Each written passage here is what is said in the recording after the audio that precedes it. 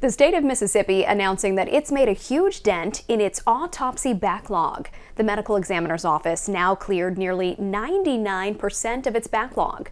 Some of those cases were more than a decade old. Since 2020, the office has reduced the backlog from 2,200 cases down to 144. There are also plans to add a third examiner's office, which would help get completely caught up.